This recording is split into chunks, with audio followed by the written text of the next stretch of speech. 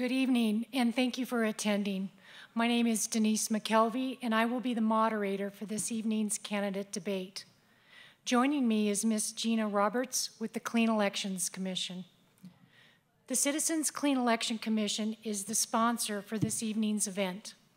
The Clean Elections Act is a campaign finance reform measure initiated by Arizona citizens and passed by voters in 1998. Participation as a clean elections candidate is strictly voluntary. The system provides full funding for qualified candidates who agree to abide by the Clean Elections Act and rules. To qualify for funding, participating candidates must illustrate the support of their constituents by gathering $5 qualifying contributions from registered voters in their legislative district. The candidates agree to adhere to contribution and spending limits and may not accept money from special interest groups. They also agree to participate in these debates. As we move into the debate, we encourage audience questions. If you have questions, please print them clearly on the card given to you when you walked in. One of our volunteers will pick up the cards and deliver, them to me. We, we screen the questions for clarity to eliminate duplications, speeches, or personal attacks on candidates. If you need another card, just raise your hand. The debate is scheduled for one hour, so we may not get to all of your audience questions, but we will do our best. There's an independent timer who will see to it that all candidates have equal time to answer questions and will then tell them when their time is up. Our format this evening will be opening statements, two minutes each, a quick lightning round, two minutes to answer audience questions, two minutes to answer candidate to candidate questions, and then two minutes each for their closing statements. We ask that you remain polite to all the candidates and give them a fair and uninterrupted hearing, no matter how strongly you may agree or disagree with what's being said.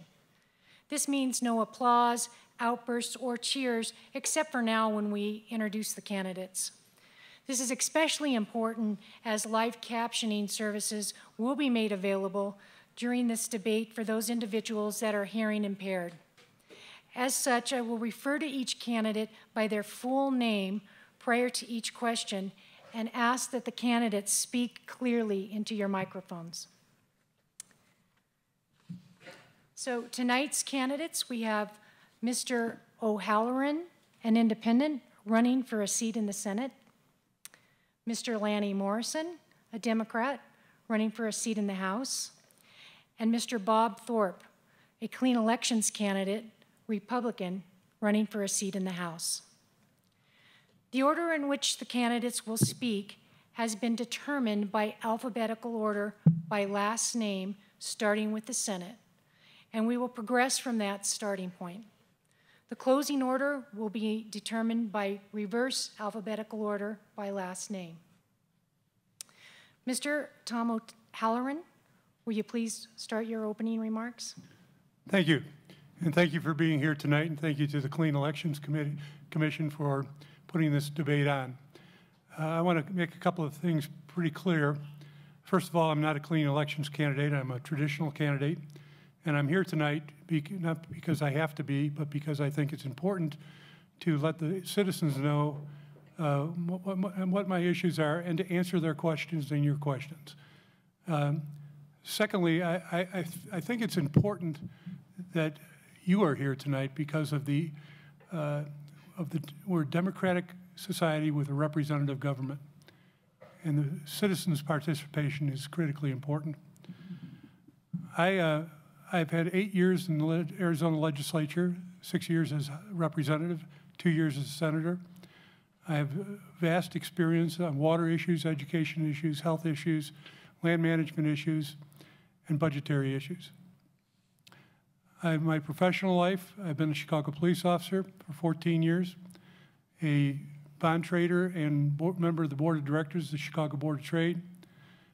I've um, been a consultant on the integration of technology into financial trading systems, and as I've said, a legislator. And I am, live in the Village of Oak Creek area with my wife Pat, and I have three adult children and two grandchildren. Thank you. Thank you. Mr. Lanny Morrison. Thank you for being here. Thanks to the Clean Elec- Elections Commission for sponsoring this public forum. Like Mr. O'Halleran, I am not a clean elections candidate. I choose to be here to participate in a democratic process for the public to see what I have to say and to hear what I am all about. I am a first-generation American. My mother uh, came from Poland on one of the last ships out before the Nazi invasion. I grew up in poverty, enough so that my childhood dream was to have a bed of my own. It wasn't realized until my sister went off to college at age when I was 17, when she got a full college scholarship, and my brother and I each got a bed. My background is one of public policy. I've worked for small, medium, and large companies. I worked for a Fortune 500 company where I did strategic planning and government relations. On the strategic planning side, I helped develop thousands of jobs around the country. On the government relations side, I have responsibility for dealing with Congress plus 20 states. I know the elective process, I know the public policy process, and I learned many years ago that the best public policy is formulated on a nonpartisan basis. My wife Lynn and I are residents of Doney Park. We have two children and four grandchildren, and it's a pleasure to be here today to answer your questions. Thank you. Thank you. Mr. Bob Thorpe. Good evening. And thank you um, very much for being here tonight. I re- really appreciate you taking the time. Uh, I'm uh, Arizona State Representative Bob Thorpe. I was uh, sworn in two years ago, the first time I've run for office. Uh, My wife Donna is here in the audience. I also have a son and a daughter. Uh, I'm the Vice Chair of Technology and Infrastructure down the- in the House. Um, I'm also on the Higher Education Committee as well as the Energy, uh, Environment, Natural Resources Committee. Some of um, my, my uh, awards, if you will, uh, Americans for Prosperity referred to me as a hero of the taxpayer. National Federation of Independent Businesses uh, gave me Guardian of the Small Businesses. Um, Arizona Family Project uh, awarded me with a Friend of the Family. AZCDL uh, uh, gave me an A-plus rating as far as supporting Second Amendment issues. Uh, I'm endorsed by uh, Congressman uh, Paul Gosar, uh, Arizona Police Associations, uh, Arizona Highway Patrol Association, the Fraternal Order of Police, Arizona Cattlemen's Association, the Association of Realtors, uh, Home Builders Association of uh, Central Arizona, and uh, Fire Chief uh, Glenn Reagan. Uh, My business background is with Pricewaterhouse accounting firm, Walt Disney, aerospace. I was in the software industry, started my own company as an entrepreneur. Uh, I was also an instructor at UCLA and taught high technology courses uh, for over eight years. I was a volunteer firefighter EMT here in Arizona. Uh, And then uh, I'm also a constitutional author. I have a book on Amazon. Thank you. Thank you. In attempt to lighten the mood for tonight's debate, we're going to do a quick lightning round of this or that. This will allow us to get to know the candidates a little better. Candidates, please answer with just one word. Mr. Tom O'Halleran, Droid, iPhone, or Windows? iPhone. Mr. Lanny Morrison, Droid. Mr. Bob Thorpe, iPhone 6. iPhone. 6. Thank you. Terrible. Mr. Tom Halleran, O'Halleran, CNN, Fox News, or MSNBC? Fox News. Mr. Lanny Morrison, CNN. Mr. Bob Thorpe, Fox News. thank you. We'll move on to the audience questions now. Mr. Tom O'Halleran, you'll start the first question. What new plans do you have for moving the Arizona economy forward? Well, the first thing I, I want to do is deal with the education issues of this state. I believe that education forms the absolute foundation of our economy now and into the future. And we have not had an educational system in this state that has a long-term goal at all. And we need to set, start to set parameters, goals, and objectives for education. I, I, the Chamber of Commerce has come out and said that our tax structure is competitive.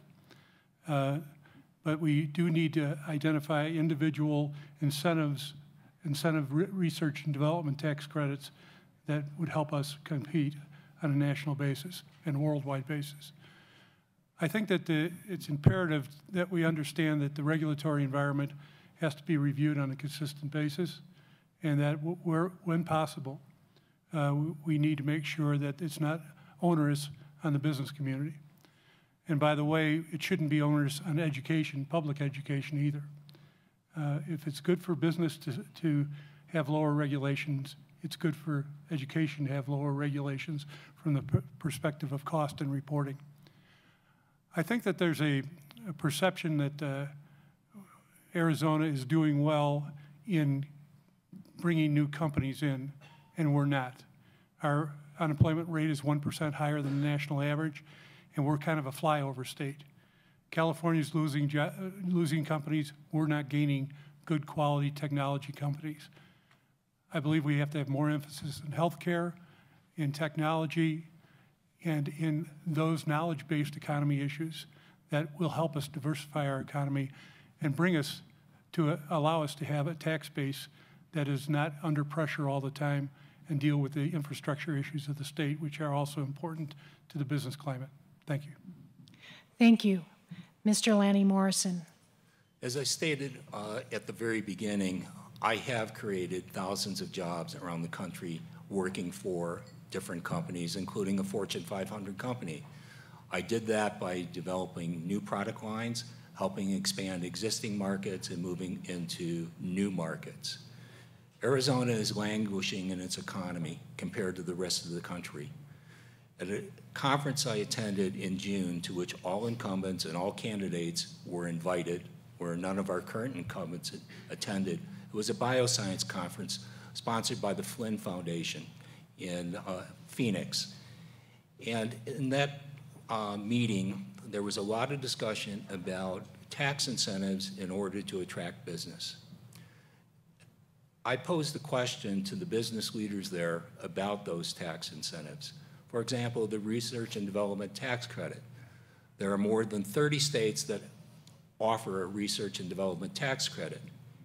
If Arizona cannot compete with the larger states like Texas, California, New Jersey, New York, Pennsylvania, what is it that you, the business leaders, say will attract investment to this state? The number one answer was what investors look at is what the state spends per pupil for K through 12 education, what the state spends on higher education and workforce development programs. And they also said what the state spends on infrastructure.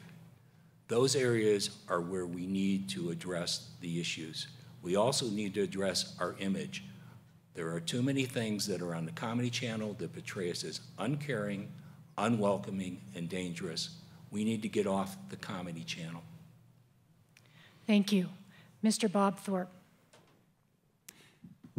Prior to my even um, being elected to the legislature, uh, there was already a movement down at the legislature to, re, to put Arizona into a competitive uh, position with the other states. Um, unfortunately, we are at a state-by-state competitive, um, uh, you know, challenge as far as, for example, what was mentioned a moment ago, uh, getting jobs and, getting businesses, for example, that are leaving California to come here.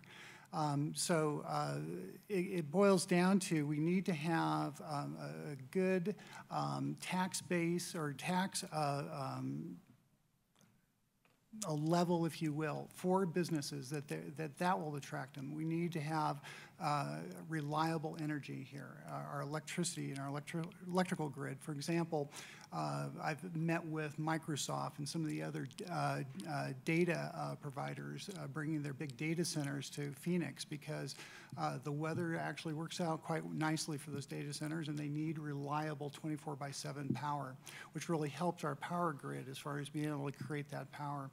Um, Our Commerce Authority has done a really good job uh, uh, creating jobs and bringing companies here. Uh, Last year, they uh, uh, brought about 16,000 new jobs to Arizona, but we need to continue to do more.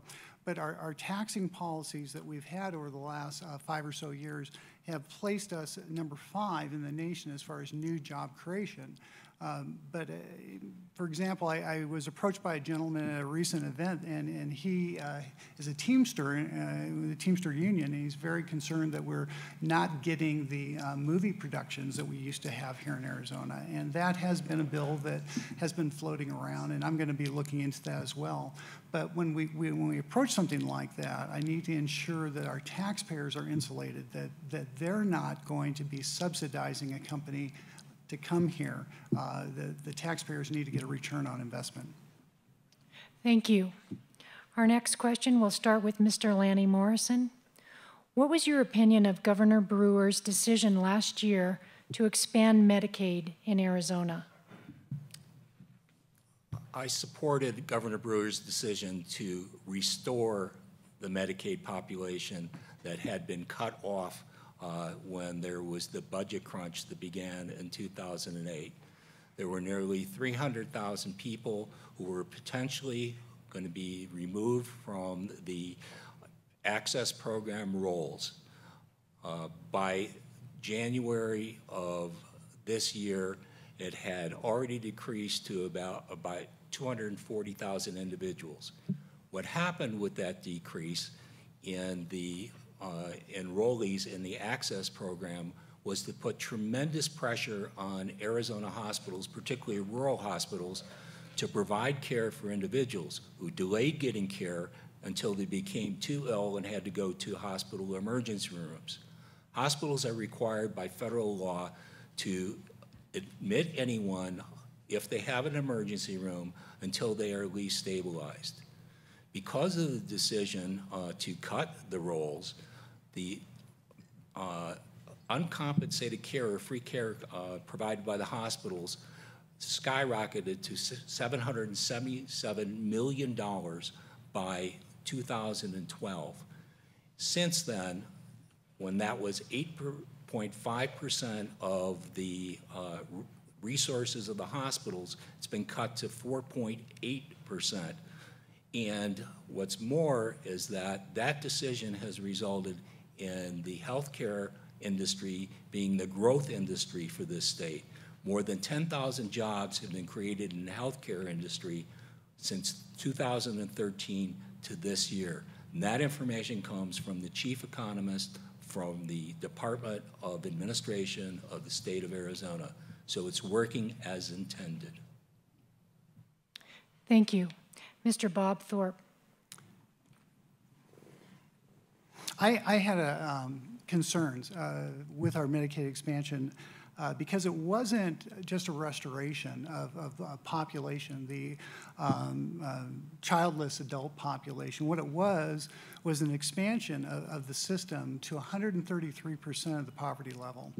Um, when, when it was being debated, um, some things were thrown around, for example, that uh, if we didn't take the money, somebody else would.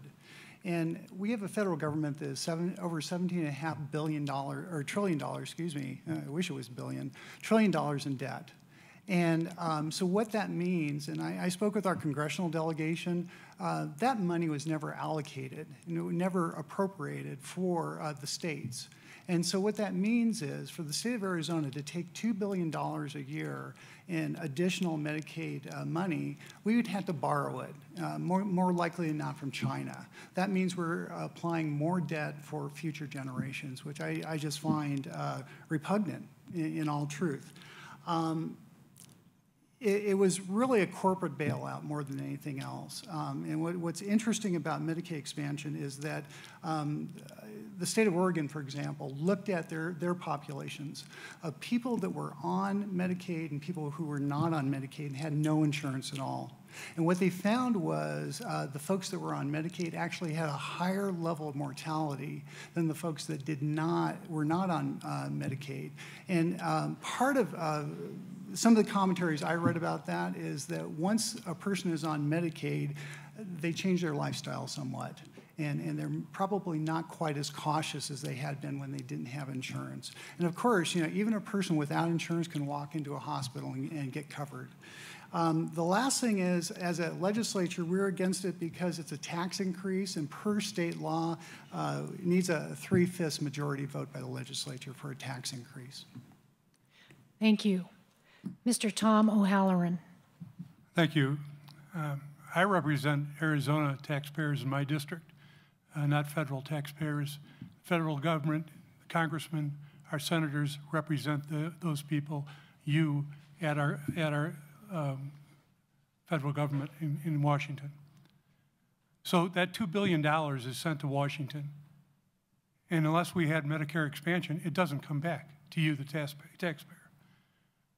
It goes to California, it goes to Nevada. We can't fight that battle from our positions. We can as a state, and we will continue to do that as a state with the lawsuit that we've put forward. That's issue number one.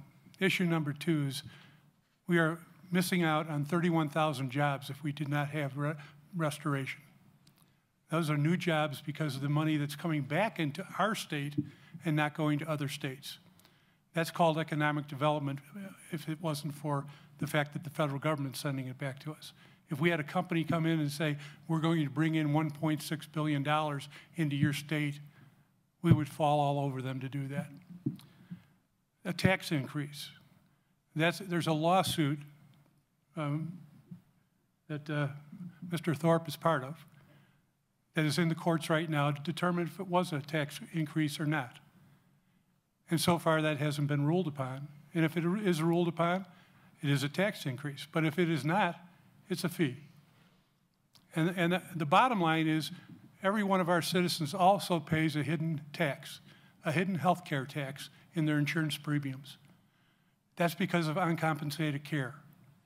And so when that hospital has uncompensated care, their negotiations with the insurance company makes them go to a higher level, then our insurance companies have to pay, pay more in their pr premiums, our citizens.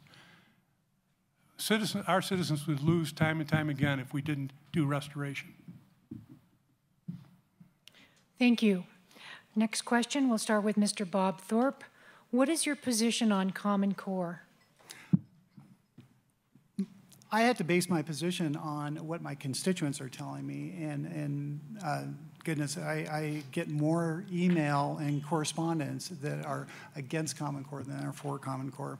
Um, I have concerns about um, goodness, uh, the commonness of, of, the, the whole initiative that uh, as, as a state, we need to be innovative.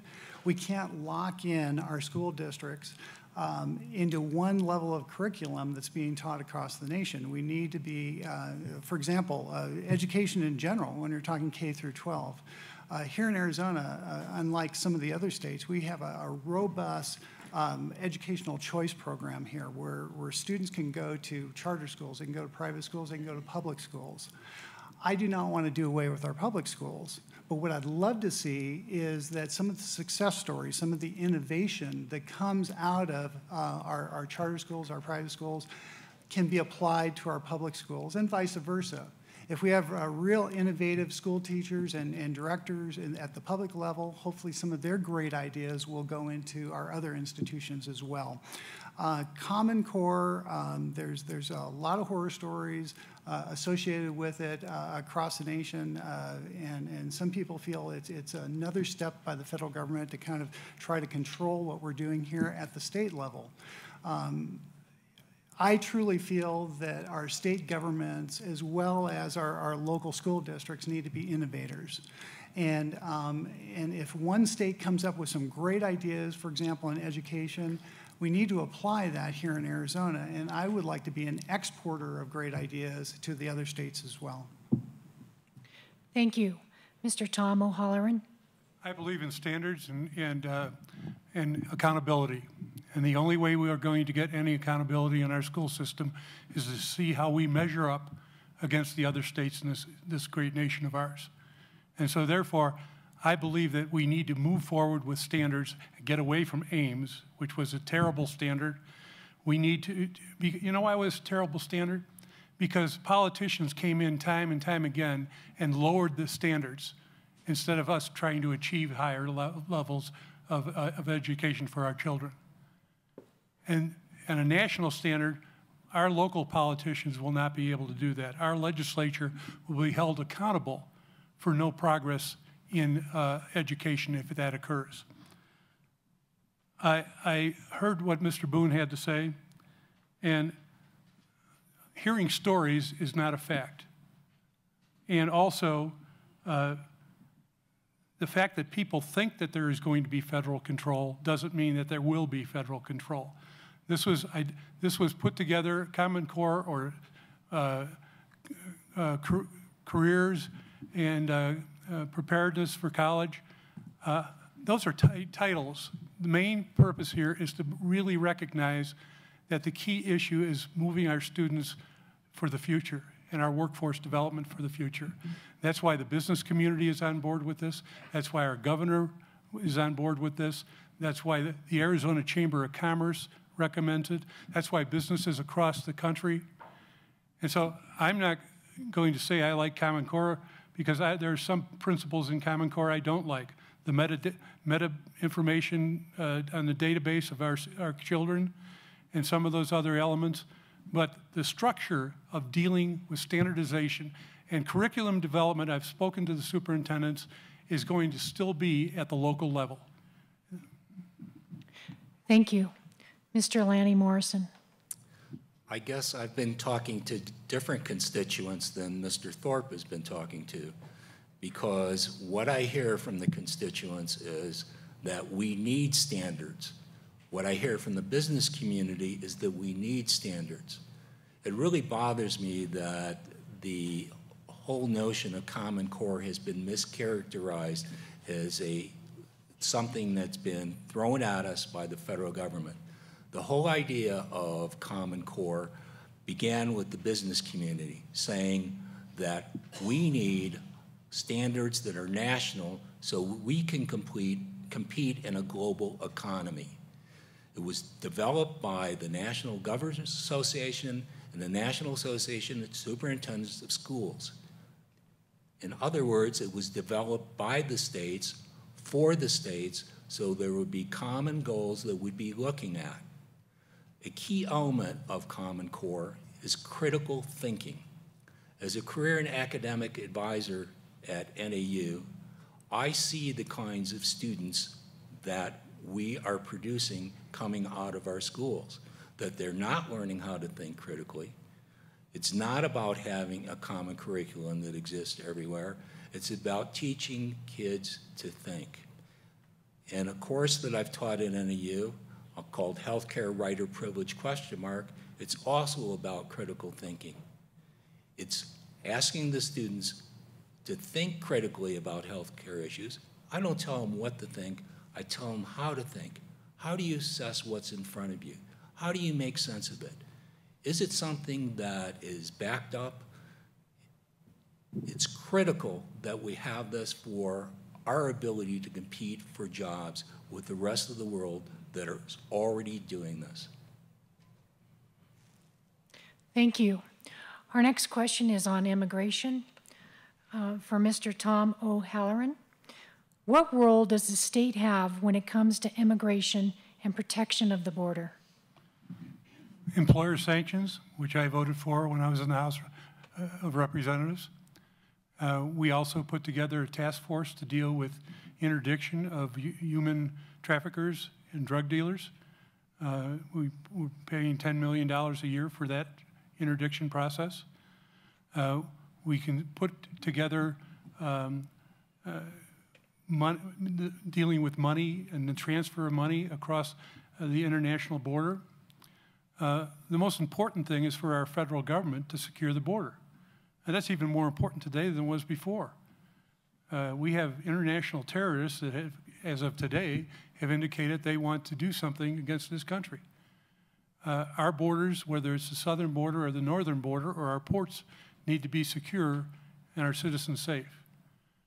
We need to realize that, that uh, we just can't go out there and just uh, stop everybody on the streets, though. We have to have probable cause.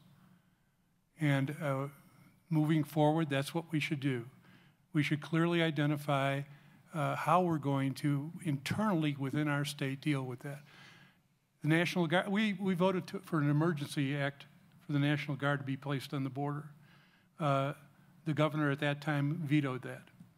Uh, we, we've tried time and time again to deal with these issues, but as long as the border is unsecure in Texas, New Mexico, Arizona, and California, the southern border, we will continue to have problems. And if Arizona does something that the other states don't do, we'll just have to deal with our eastern border and our western border. It has to be a unified process. Thank you. Thank you. Mr. Lanny Morrison. Border security is an important issue. It's an important issue for this state, it's an important issue for every state. But if I run around this room and ask each person, what's your definition of a secure border, we're going to come up with entirely different answers to the question about what it means to secure the border. We need, as a nation, comprehensive immigration reform. It's been languishing in Congress, and we need it. It was brought home to us when we had the childhood arrivals who had been coming from Central America. And this is another area where it's been mischaracterized. On December 23rd, 2008, shortly before he left office, President George W. Bush signed into law the William Wilberforce Trafficking Victims Reauthorization Act of 2008. The present administration is merely following that act to the letter in dealing with this humanitarian crisis of these children who are escaping horrible lives in Central America. This was about, act was about victims of sexual abuse and sexual trafficking. And that's why it was passed in the United States House of Re Representatives with only two dissenting votes. Talk about cooperation. It is a critical issue that we have to deal with. But one issue we still have to deal with is that we have a deferred action program where there are certain childhood arrivals who are in deferred action who are not allowed to have a driver's license where they could previously uh, before the governor took action to stop that. Driver's licenses are important to uh, these young people to be able to go to school, to be able to work. Thank you. Mr. Bob Thorpe. We need to secure our border. Um, we have situations on our border right now where we have um, drug cartels, um, dangerous crime syndicates, uh, human traffickers, uh, uh, totally violating uh, our border, violating our sovereignty. Um, this, this recent wave of immigration uh, of, of, children, for example, um, you know, Mexico was complicit in this. They allowed these kids oftentimes to ride on the tops of, of uh, freight trains. Um, these kids uh, have been molested by the folks that they were entrusted to, these cartel members. They, uh, some of them have died en route uh, from South America to the United States. Uh, it's unconscionable that uh, we would allow a situation like this to occur. The whole notion that we'd have a, a border that we're not securing and allowing people uh, from South America uh, or from Mexico to come across uh, uh, scorching hot deserts and die in those deserts is unconscionable as well. Um, we need reform as far as immigration, legal immigration, and uh, where, where we do not allow folks to come in and compete with uh, jobs that our American citizens need. Uh, But we also need to ensure that if people are going to come here, they come here legally, they come here safely. They're not being split up, their, uh, their families, and being put at risk uh, with these uh, crime syndicates as well as uh, very difficult border crossings. Um, Just today in the news, they were talking about that Border Patrol is no longer detaining and incarcerating people that they're catching here in the, in the Arizona corridor down around Sierra Vista and Yuma. Uh, Instead, what they're doing is they're releasing them almost immediately with a court document stating that they will uh, uh, come to court on a particular day and time. Um, I'm sure there'll be some folks that will do it, but I'm, I don't have a lot of confidence that everyone will do it. Thank you. Our next question, what is your position on Proposition 122? Mr. Lanny Morrison. Proposition 122 is a very interesting proposition. It would change the Constitution of the state of Arizona, where uh, from the very beginning of statehood uh, in uh, 1912, there is the statement that the supreme law of the land is the United States Constitution. What Proposition 122 would do is to change that definition um, in a very significant way. Basically, it would allow uh, Arizona, if it's voted in by the voters, to uh, determine what indeed is constitutional under the United States Constitution. If passed, it will be litigated. This will be one more instance where very hard-earned taxpayer dollars in the millions will be spent on going into court to challenge the constitutionality of the United States and to tell the United States government and the United States courts um, at whatever level that uh, they do not have the jurisdiction to determine what is constitutional will be litigated and it will lose. I am opposed to Proposition 122. Uh, I believe that the people who behind it uh, are well-intentioned in their efforts, but this is not going anywhere except in the court and will cost us millions of dollars to defend. Thank you. Mr. Bob Thorpe. The Arizona Constitution was written to mirror the U.S. Constitution. Um, we have a problem in this day and age. Uh, we've had a problem uh, uh, probably for 100 years, or if not longer, where Congress, whether good intentioned or not, will pass laws that do, that do not meet constitutional muster. They're unconstitutional. Let me give you an example. Um, Teddy Roosevelt passed uh, the Antiquities Act in 1906, I believe it was. And the Antiquities Act, um, uh, both by the, the act in, in and of itself, as well as um, how it has been applied, uh, has real constitutional problems. And as a state, we need to have a way to kind of push back, fight back against uh, unconstitutional acts and laws that are passed at the federal level.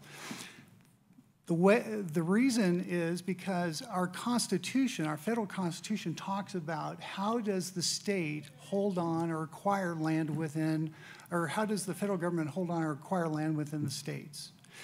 The way it does it is by uh, first getting the permission of the legislatures and then by actually compensating the state for that land.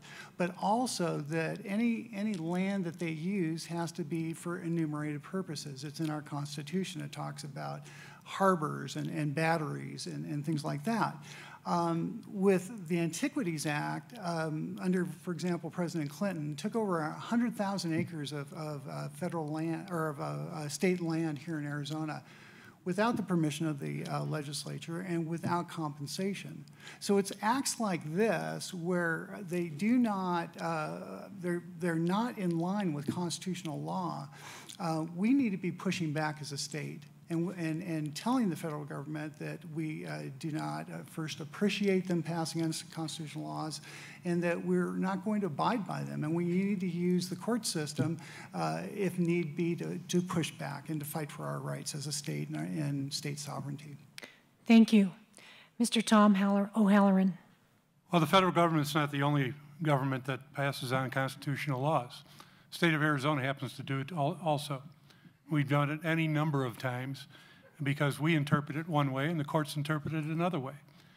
Uh, I wake up every morning, I'm, I'm a citizen of the United States of America and proud of it. And I'm a citizen of Arizona and proud of that too. But as being a citizen of the United States, uh, we, uh, when I wake up, I know that the determining factor on constitutional law is the Supreme Court of the United States, whether it's Congress or the state uh, law. Eventually, it'll get there on constitutional issues. The other factor is uh, if this were just about land, uh, that, that would be one issue, and even then, I would have a problem with 122. Uh, But this, this can be interpreted uh, to be about anything, the constitutionality of, of anything.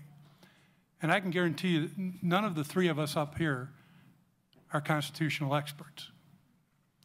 And so I, I, I really have a problem when somebody says, we will determine what the Constitution of the United States says. Uh, I, I have a problem with any type of law that if we want to deal with states' rights, then what we should do is follow the Constitution and go, go to the federal courts and the state courts and deal with the litigation process that is there within our, our federal and state constitution, not to find a way around it. What happens if every one of our 50 states starts to do the same thing? We start to crumble and not become a United States. We are the state of Arizona and the state of California. The binding element of our country is the Constitution and how it's interpreted. And we can't all just start going out there and doing it on our own. Thank you. Our next question for Mr. Bob Thorpe. What is your position on the purpose, on the proposal for the state to take over federal lands?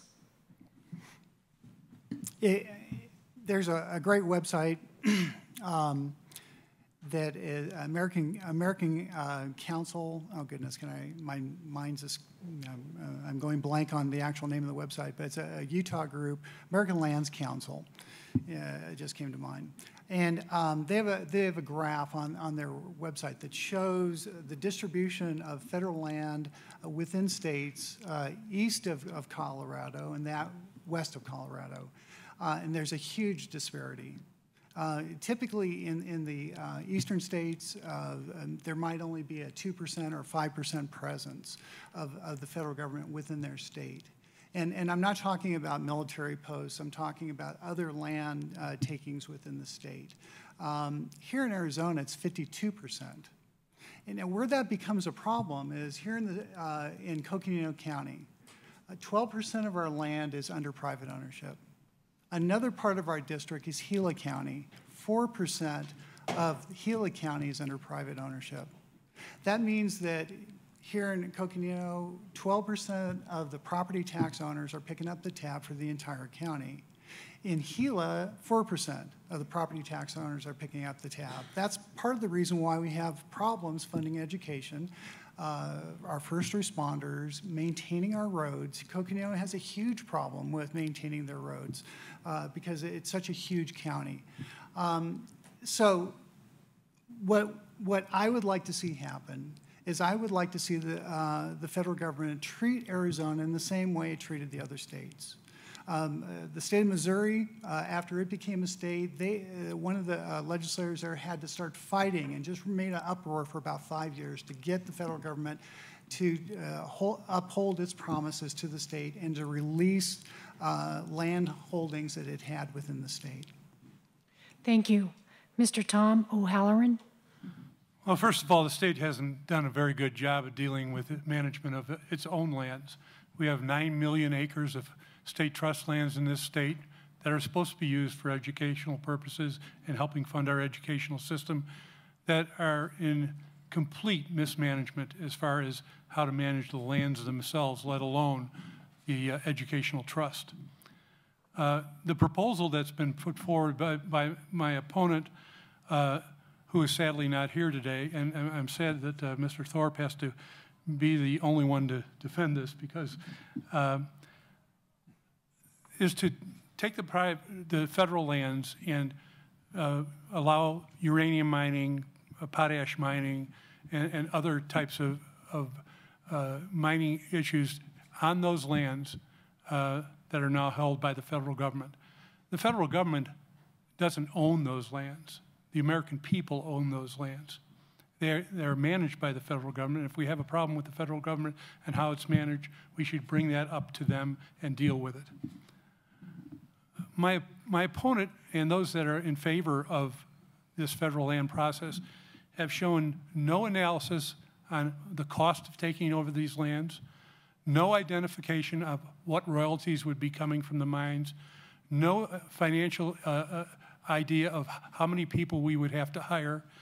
How do you pay for a forest fire when the federal government, it's not forest land because they only pay for fires on their lands, not off the lands, unless you take them to court?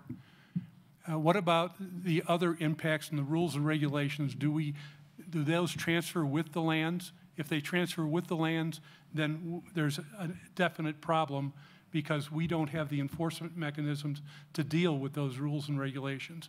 And not the least of which is the enabling act that we signed as a state has to be thoroughly redone if we are to do this. Thank you. Mr. Lanny Morrison? I agree completely with uh, Tom O'Halleran on this particular issue. We've done a very, very poor job of managing our own lands. Federal government has also had its problem managing lands. Uh, Mr. O'Halleran mentioned uranium mining. We have 521 abandoned uranium mines in the state that cause uh, an ongoing threat to our environment, our water supply. Anyone who has gone on the Navajo Reservation knows the issue of uranium mining and its effect on the environment, uh, on the water supply, on the people's health. The cancer rates are through the roof. We have to be wise in our dealings with the federal government. What Mr. Thorpe and Ms. Barton and uh, uh, Ms. Allen would like to do is get into a war with the federal government. We need to get our own house in order, and we need to look to work collaboratively with the federal government on common issues. We need to look to work collaboratively with other states on common issues. The issue of trust lands costing us money um, because we can't tax them is not the real issue. The real issue is we start cutting taxes in the 1990s and relied on population expansion to provide needed uh, government services. The current legislature and governor have slashed billions of dollars from the state budget. They swept the HURF funds that we need for the roads. They took a, a billion dollars away from uh, the K through 12 education program. They took hundreds of millions of dollars away from the state universities. They swept the Heritage Fund that supported the state parks, and the state parks had to close, and the rest areas closed. Thank you. We will now move on to uh, give the candidates the opportunity to ask a question of their opponent. In the absence of Mr. O'Halleran's uh, opponent, I will ask him an audience question. We will begin the questions with um, Mr. Bob Thorpe for Mr. Lanny Morrison.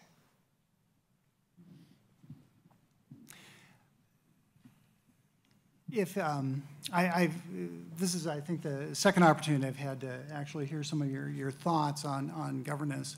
Um, And you've talked about wanting to uh, place more, uh, for example, more funding into education and other areas. Uh, Right now, we're looking at about a a 50 to 60 million dollar uh, uh, deficit in that, uh, in what we thought we would be receiving as far as revenues. Um, it- It's wonderful to be able to spend money as, as a state, um, but. Sir, please, please ask your question. Okay, where do you think uh, we're going to actually get the revenues to uh, do some of the programs that you want to do? The uh, Arizona Supreme Court has made clear that the public school system, K through 12 education, is owed back payments for the failure of the legislature to provide the mandatory increases that were granted um, by the people, uh, by our re- resolution in this state. Uh, The price tag that is first coming up, according to the Maricopa County Superior Court, is $318 million. Obviously, with a rainy day fund of somewhere in the neighborhood of $455 million, give or take uh, a couple million, uh, there's the possibility of, for this first year, which would be in FY '16, of using the rainy day fund to meet that kind of requirement. Now, the real issue becomes one of what do we do beyond that? The requirement of law in Arizona is that there must be a two-thirds vote for any kind of tax increases.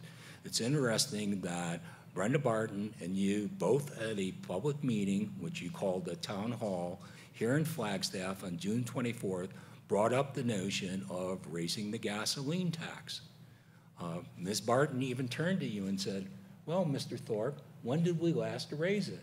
And you had to tell her because she didn't know. Both of you said that's how we were going to fund HURF, um, the Highway User Revenue Fund, um, which, according to Ms. Barton on her tweet, is that she wants to fully fund it. So the notion of raising taxes uh, is one that will come up. I will be at the table to make sure if we have discussions about taxes, that we deal with it in a fair and equitable basis, that everyone participates in the process, and we have a bipartisan discussion on it. Thank you. The next question is from Mr. Lanny Morrison for Mr. Bob Thorpe. Mr. Thorpe, please explain your sponsorship of SB 1062, the so-called Religious Freedom Bill. Um, That bill came out of um, the Senate. It did not come out of the House, did not originate out of the House. I did support it because when you read the bill, it didn't do anything as far as how it was being portrayed in the media or even how our governor portrayed it. It- I was very disappointed to see it, how it was portrayed on Fox News. It was obvious in Fox News that they hadn't even read the bill. The bill was pretty simple uh, that if somebody uh, wanted to uh, request you to do a service as a business, and for whatever reason you decided that you uh, decline that, that business opportunity, um, uh, the bill did not give you, or the business owner, the, the ability to deny service. The only thing that the bill did was if the person decided to sue you and you ended up in court, and you could show uh, that it was that your your refusal to do business with that individual is based upon uh, deeply held religious convictions. Uh, that that would be a, an uh, aspect of defense when you're in court. I do not want to see any business turn away business. I want to see business grow. I want to see robust business here here in the state. Um, but let me give you an example. Let's say you have a, a, a Jewish caterer he, he is by far, he or she is the best caterer in, in the entire city.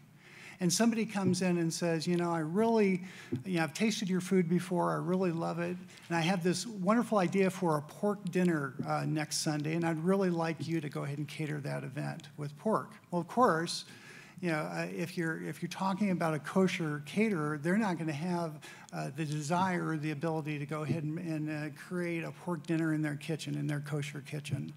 So that that if that person then goes ahead and says, well, you know, I really don't want to uh, provide that meal, uh, and they end up getting sued over it. They, they then have the ability to, to actually in court defend themselves from a religious standpoint. Thank you. Mr. Tom O'Halleran, how do you feel about an increase in the minimum wage? I think I answered this question the other day uh, at a, at a house party. And I think what we need to do is, there is no definitive uh, i- concept of what a appropriate minimum wage is. I haven't seen, as for, for Arizona, I haven't seen any process where the business community, uh, the government, uh, people that are experts in, in uh, wage issues, compensation issues, have come together and identified the economics benefits of a minimum wage process, what the number should be or not be, uh, if we need one or don't need one. So before going out and putting a burden on, on our businesses, because I don't know what the burden would be on business even. What would that mean from the cost structure? What would that mean from the ability of those businesses to make a profit and thereby expand? So at this point in time, I would need a lot more information before I would go down that road and dealing with tho- that type of an issue. And there has been no analysis to, that I can see that has been appropriate in order to make that decision. Um, so that both the individuals in our, our state, and, and listen, there's too many people in our state that the child comes home to no parents uh, because they don't have enough income. There's too many people in our state that have to make a decision between food on the table and, uh, and, and health care. There's too many people in our state that uh, can't, uh, don't have the ability to spend time with their children to provide them with the help in their educational program process. We as a nation have to deal with this economic structure, and we as a state have to deal with the realities of this. Thank you. We will now begin the candidates' closing statements. The first closing statement will be given by Mr. Bob Thorpe. Once again, I just wanted to thank everyone for taking the time to be out uh, tonight. Um, we need to be involved. Doesn't matter uh, what what side of the political uh, arena that you're in. Um, we need to uh, do our homework, understand the issues, um, and and goodness, our candidates need help as well. Uh, if you if you find a candidate you like, you know, going out knocking on doors, uh, maybe uh, talking with people about either a candidate or an issue, it's so important. You know, there's there's so many people that have become uh, kind of jaded a little bit about the political process. And, and uh, I had somebody tell me once, uh, uh, not too long ago, they, they made the comment to me that if you don't do politics, politics will do you. And, um, and so when we have elected officials like me or anyone, um, goodness, we need to hear from you. Uh, we need to hear what your ideas are, your suggestions, your complaints, and, and occasionally it's always nice to hear some praise as well. Um, I've had a, a wonderful time uh, serving in the House of Representatives. A great uh, group of people down there. Um, not a, I'm a Republican, but I've also made some very, very close friends uh, with uh, some of the Democrats down there as well in the House. There's one gentleman in particular, uh, Macario Saldate, out of Tucson, and uh, he. Um, uh, has just this wonderful, rich heritage of, of uh, being a, blue collar worker and later teaching uh, university, and, and now he's uh, in the legislature. And, um, and having friendships like that down the legislature and working with people like that is, is such an honor and such a blessing. Um, a lot of challenges down at the legislature. You know, we're, we're trying to either uh, fix laws or, or introduce new laws that will help our people here in Arizona make our state competitive. Um, but then, you know, the nitty gritty at the end of the uh, session is, you know, trying to come up with a state budget. And, uh, you know, 52% of our budget goes towards education. Uh, and I just wish that we were a more prosperous state where we could put more money into education. Thank you. Mr. Lanny Morrison. Thank you all for coming. It's important to be involved in this process. It's unfortunate that two individuals uh, persist on hiding and not allowing the public to see them and hear them and compare them to the candidates who are running. In listening to Mr. Thorpe, um, I was struck multiple times about, geez, it would have been nice to have fact check here. For example, his comments about Medicaid in Oregon and that the mortality rate is higher for individuals on Medicaid in Oregon than people who are not on a Medicaid. Well, if you know anything about eligibility for Medicaid and in Oregon, you'll see that there are large numbers of elderly and disabled people on Medicaid in the state, and that's why the mortality rate is higher for specific populations.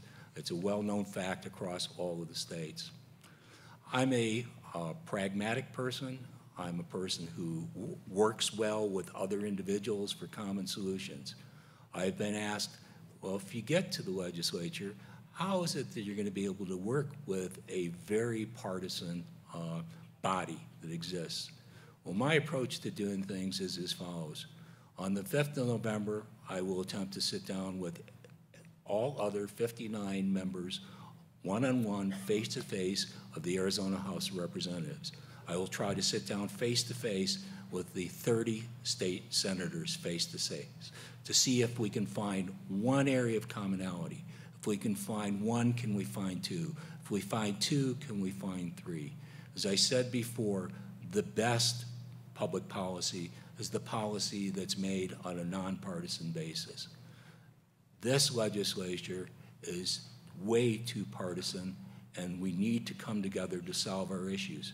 And they need to address the issues in LD6. The rural area is left out in this process. We have lost jobs in this rural area. The economy has not been improving here. We've lost population in this area. Thank you. Mr. Tom O'Halleran. Thank you, everybody, for being here tonight. Um, When I first got down to the legislature in 2001, I heard the phrase, "We need to run this place like a business." And they, then they proceeded not to do that. Now, if I were at the, a board table, a board of directors table, and somebody put an issue in the middle of that table and said, if, if we don't solve this problem and deal with this issue, uh, we are going to fail as a business, or we are going to have to raise our prices, or we are going to have to have to lay off workers. That board of directors would eventually and quickly find a way of dealing with that issue because it was necessary for them to do that for the preservation of their for their company. At the legislature, we just keep passing stuff further and further into the future. Infrastructure into the future. Water planning into the future. Education funding into the future. Instead of sitting down and finding solutions and then coming to the public and identifying why those are logical solutions and identifying what the public, the desire is on that issue. When I left the legislature in 2008, we had the lowest tax structure in this state since 1977. It was done in a bipartisan process. We had a Democratic governor for most of that time, and we had a, a Republican House and Senate and a, and a Democratic House and Senate. And people work together to solve and resolve those types of problems. I want to go back down to the legislature because I have a proven record on bringing people together across party lines to be able to deal with the important issues that this state is facing. I, I would only hope that we as a government start to run it like a business, and I hope the federal government starts to do their job and recognize they just can't have 200 some days off every year. Thank you. And to our candidates, we thank you so much for participating in our forum tonight.